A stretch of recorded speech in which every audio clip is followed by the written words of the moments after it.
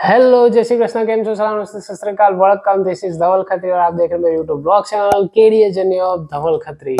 अभी आप सोच रहे होंगे कि ये पता नहीं कुछ ऐसा है, मेरा एक्चुअली ब्रेसलेट थोड़ा सा ब्रेक हो गया है तो उसको रिपेयरिंग के लिए देने वाला हूँ तो अभी इसलिए नहीं पहना हुआ है।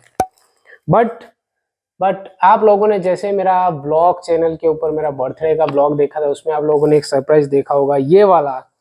तो this is the one more gift from special friend और बर्थडे के दिन ये मुझे गिफ्ट मिला था तो मुझे ऐसे दिल से इच्छा थी कि बिल्कुल मैं आपको थैंकफुल के लिए एक छोटा सा गेस्चर के रूप में आप लोगों के लिए एक वीडियो शेयर करूँ, क्योंकि this is the rose okay तो मेरे पास है कारवा का रेडियो मतलब मुझे गाना सुनना पहले तो सबसे पहले तो गाना सुनना बहुत ही अच्छा लगता है। मैं पुराने गाने बहुत सुनता रहता हूँ, मेरे आईफोन में, मेरे कंप्यूटर में।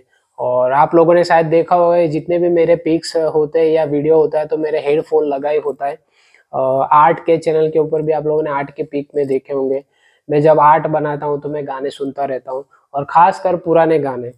तो इसलिए ये वाला जो कारवा है, ओल्ड सॉन्ग स्पेशली और यहाँ पे आप लोगों ने देखा ही है शायद नहीं दिखेगा, बट स्क्रीन के ऊपर मैं जूम करके दिखा दूँगा। कारवा, हिंदी सारे का मत the perfect gift for your loved ones. तो स्पेशली ये बर्थडे के दिन मुझे गिफ्ट मिला है, और जिन्होंने मुझे तोहफा दिया है, प्यारा सा तोहफा दिया है उनका नाम है वर्षा जी और राघव जी। और बिन्नी और बुन्नू।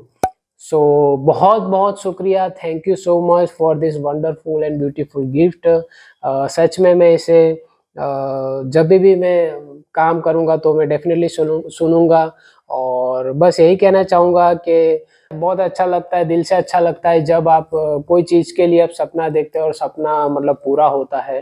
तो बस वंस अगेन यही कहना चाहूँगा कि this is the beautiful gift so once again thank you so much Varsha and Raghav बहुत बहुत शुक्रिया। और आप लोग भी मेरा ब्लॉग अगर देखते हो तो प्लीज़ शेयर करिएगा लाइक करिएगा और सब्सक्राइब करना तो बिल्कुल ना भूलेगा सब्सक्राइब कर दीजिएगा।